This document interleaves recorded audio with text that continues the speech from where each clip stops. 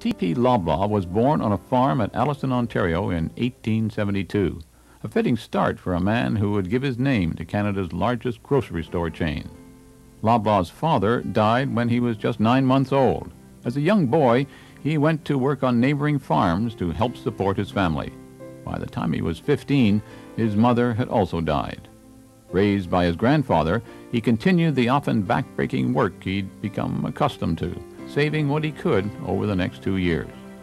At 17, Loblaw moved to Toronto with $20 in one pocket and in the other the dream of a new and better life. He quickly got a job as a grocery store clerk, earning $3 a week. That one job would prove to be the catalyst for all his later success. Because it was here that he fell in love with grocery retailing, and it was here that he met J. Milton Cork, the store owner's son and Loblaw's future business partner. Realizing that he didn't know enough to start his own business, Loblaw began studying bookkeeping and accounting at night. The other thing he knew he'd need was money, so once again, Loblaw started saving, doing without luxuries like vacations or entertainment. He even refused to pay the price of a streetcar to and from work, preferring instead to pocket the money and walk. By 1910, he had enough money, enough training, and enough experience to follow his dream. So at the age of 38, he opened his first Loblaw store on King Street in Toronto. But Loblaw's dream didn't end with just one location. It was a chain of stores he was after.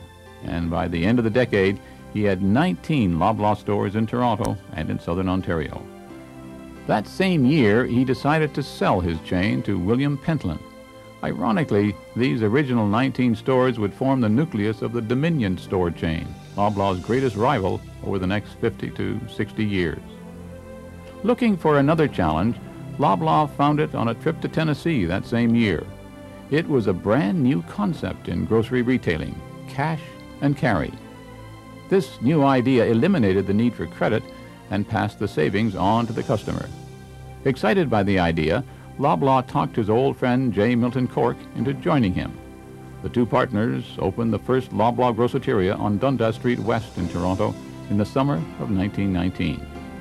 Cynics believed the idea would never fly but the attraction of lower prices more than made up for the extra effort required on the part of the customer. The success of this first store inspired Loblaw's expansion dreams. By 1921, there were four Loblaw Groceterias in Toronto. The next year, that number had doubled to eight stores. And by 1928, the company had 69 locations across Ontario, with sales topping $15 million annually. In less than a decade, Loblaws had become the second largest grocery chain in Canada.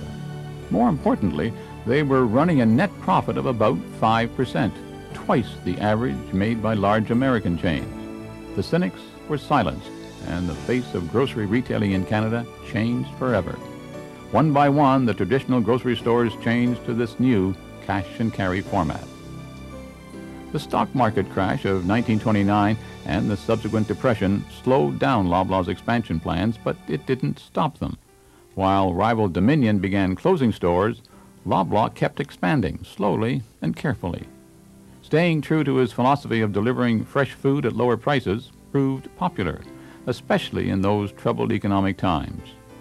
By 1930, there were 95 stores in the Loblaw chain. By 1933, the number had grown modestly to 107 in Canada and 90 in the United States. That year, at the age of 60, T.P. Loblaw died from an infection after a minor sinus operation. Despite his success, T.P. Loblaw never forgot where he started. He helped found the Stevenson Memorial Hospital in Alliston, naming it after the grandfather who raised him as a child. During his life, this institution was one of the many beneficiaries of T.P. Loblaw's philanthropy. After his death, it received a generous bequest from the Loblaw estate. And so did the Toronto Western Hospital, the place where he spent his final days and where he was a member of the board. Loblaw also left a large part of his estate in a trust administered by the Kiwanis Club of Toronto. The objective of the trust was to help underprivileged boys who had the same start in life as he did. Today, the company he founded exactly 80 years ago is now Canada's largest grocery store chain with over 1,300 stores across the country employing more than 100,000 people.